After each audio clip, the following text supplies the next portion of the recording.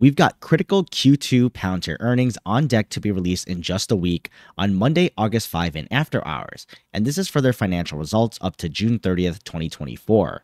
So will Palantir beat expectations on earnings and finally showcase an uptick in growth that might meaningfully show they're ready to spread like wildfire, as well as they set their guidance with an upward revision last time, so optimistically, can they do it again and still exceed these? But here's what to look out for for the latest results and increasing importance in my opinion.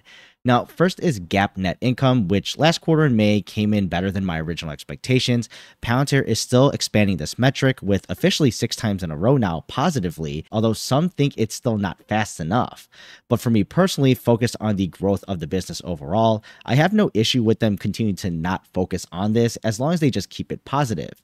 Now, in case of any unexpected events, of course, it still isn't a bad idea to continue fluffing this up, but for the major story and narrative around Palantir's growth, this is more of a side quest. But it's nice to know that they can make money as a business, and when they do expand revenues down the line, there will be that profitability engine already fine tuned.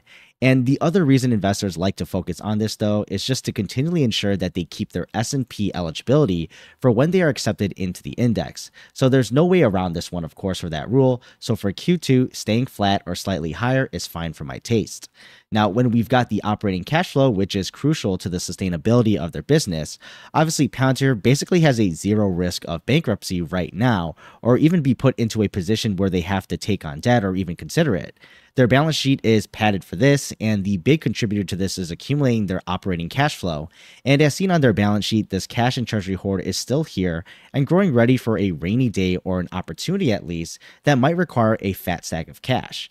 Now, sitting at almost $4 billion of cash at $3.9 billion, this is a continue to rack up interest down to their bottom line for a lot of it being in treasuries. And that, of course, makes its way down to GAAP net income.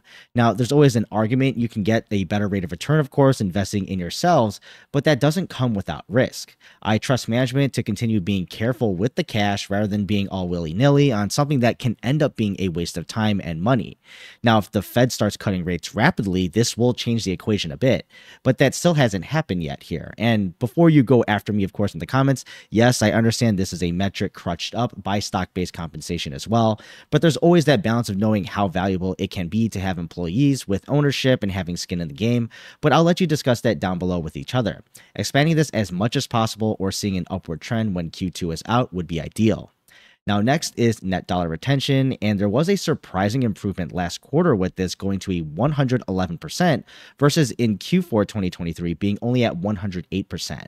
So, this speaks volumes already about their existing customer base and the value that they're able to provide, as well as expand the services to them and provide it to these customers. Note this is a very backward looking metric though, with different cohorts of customers, and this is delayed until they reach it into here. So, newly minted customers will take time to have an effect on this but regardless, the value going up here is that Palantir is holding on to customers, but even able to get more revenue from them as well. And if this stays the same for Q2 also, I don't think it'll be the end of the world. It's mostly important to show the downward trend does not restart again. Then we've got a new metric that management intentionally wanted to draw attention to last quarter, concerning it was the first time that they included it in their presentation and earnings call talking points. So this is called the rule of 40. Essentially, this is a metric to highlight how sustainable their business is through their margins without losing money. It's a combination of two percentages here that should add up to more than 40, one being their growth rate year over year for revenue, as well as their adjusted operating margin for the periods presented. Now, as an industry standard, it's nice to see them exceeding this, and clearly Palantir wanted to showcase this and going in the right direction over consecutive quarters.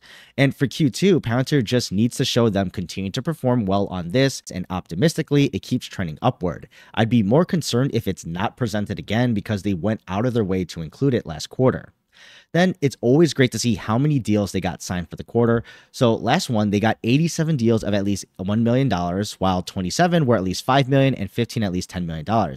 I'll say it's a cool metric and always want to see this, of course, and go up, but it isn't crucial to the growth narrative and story concerning if they're signing up a bunch of new customers. It won't necessarily hit the mark here and show up depending on the deal size.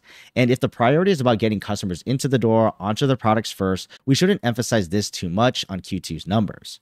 Then, profitability wise, I say I care more about this than the GAAP net income, it's GAAP operating income, which means no reliance on financial engineering or interest income. This shows in reality of how their business can sustainably, in a financial sense, keep growing and make money as a business.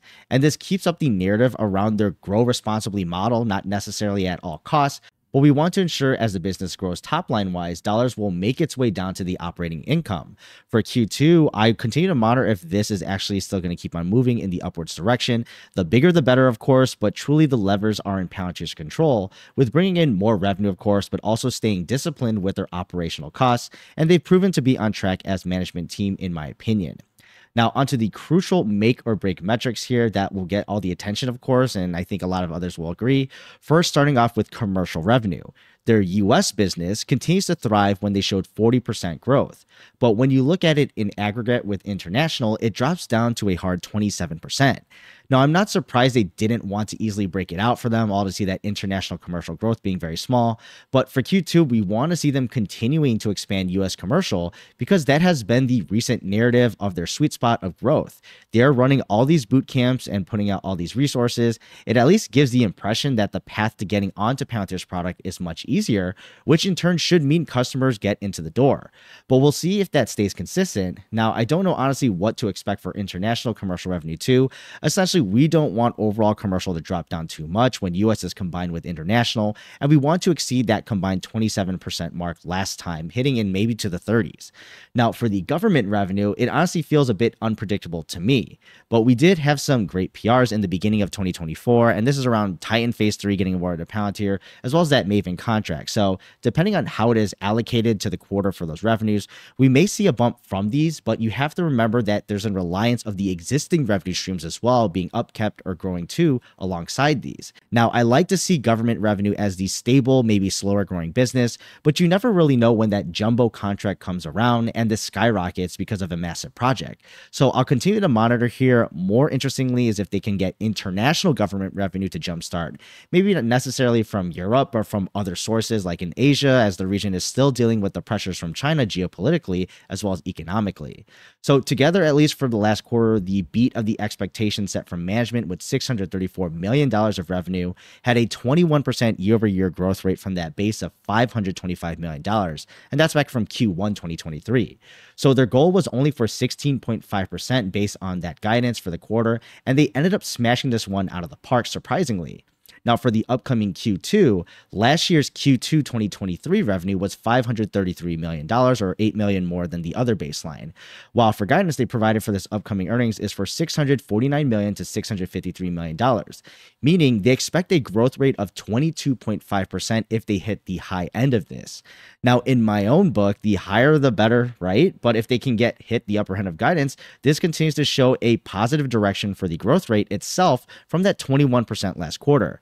This will show investors and the whole market in general if Palantir's business is starting to grow faster and faster, considering first it's a larger baseline, slightly at least by 533 million instead of that 525, but two, this is a continuing pattern of going up versus back when we fell down to that 17% growth rate at one point, which was really disappointing back then. So we'll see how they do next week in revealing these numbers. Now, guidance will be massively important as well for the forward looking side of things, not only on how they did last quarter that we'd see with the revenue numbers, but what are they expecting for Q3 2024? Considering there's still two months left, but still one of earnings are announced, it would have already been a month of performance, which I'd expect Palantir's management already knows about or at least has some familiarity with. Last quarter, they gave positive revisions with that previously mentioned 22.5% upward end of Q2 guidance, smashing that out.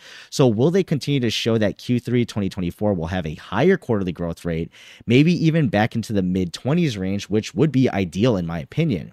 If it stays at a similar pace between 21 to 23%, it's not a huge disappointment per se, but I don't think investors will be very, very happy about it to see that and not projecting to continue to grow at a faster pace.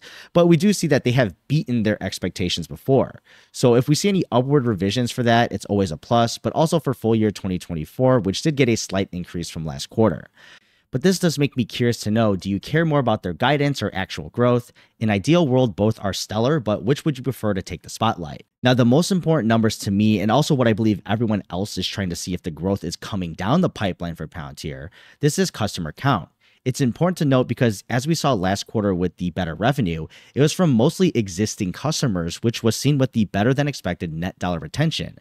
The customer count is what I'd say is the most future predicting metric to see if Palantir's customers will start to drive the revenue growth down the line because as they've demonstrated with history, once you're on Palantir, you seem to use them for more and more things and end up getting value from them, which then means you pay a bit more to use them still. So just because the sheer amount of responsibility they have for making things work for your business doesn't necessarily mean that we're going to see the dollars immediately. So for US commercial count, we added 41 customers last quarter, while overall commercial was an addition of 52. So 11 were international commercial customers. And then the overall customer count increased from 497 to 554, which is in total 57 customers. So no doubt US commercial is the one driving this. And with their growth in revenue being mainly driven by US customers, they need to get the pipeline of incoming dollars beefed up here. If we can break into the 600 total customer market, which is only 46 more, and that should be very doable considering the last time they had an increase of 57. And I really want to see if US commercial customer count explodes because of all the new things that we keep hearing about. Now, onto the earnings call, I won't be surprised if they continue to talk about their continued support for the US government and how their mission is aligned with Western values around the world, so not new stuff. But they'll probably have some points related to global conflicts or adversaries, and maybe talking about some of the US military deals that pertain to this. So we know they like to highlight their big contract wins like Titan and Maven, but most important for me personally is depending on the results, what is driving the growth and in the numbers that were disclosed, and of course, the guidance and expectations around future growth continuing to get bigger. The reason is because it seems there has been a lot of communication from Palantir and the opportunities for customers to get into the door here, as I keep saying. The latest AIPCon, of course, is the Rock concert, but I'd say getting the Build Palantir set up for the free account, as well as the opportunity to upgrade to an enterprise account, shows promise because it's just a low barrier to entry. And if they're also willing to share the progress on that and if it's worth continuing to pursue or double down on, I'm always interested. There's also just the general growth drivers around boot camps we're interested to hear about. We get those anecdotal examples of contracts and the millions of dollars getting signed because of them, or started on at least because of the boot camp. But I'm more curious about around the overall engagement and the aggregation of boot camps and say the conversion rate of customers, or if they still appear to have difficulties around the salesy aspect of things, or if they've gotten better at it, or the things they're doing to mitigate any issues, or maybe things have turned around and just doing better and I just want to hear those numbers. I'm just looking to see if they talk about what's under the hood a bit more since we only hear about them happening and roughly how many have occurred, but not enough to know if they are actually working on a large scale. But I'm curious to know your thoughts on the upcoming earnings. What do you expect for some of the metrics as well as the earnings call? Let me know down below, and I'll see you in the next video.